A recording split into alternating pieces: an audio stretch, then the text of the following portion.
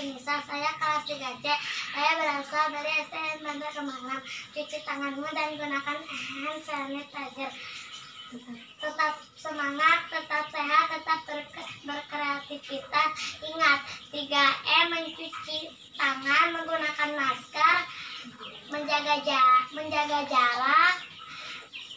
Salam Pramuka. Wassalamualaikum warahmatullahi wabarakatuh. Terima kasih telah menonton video kami.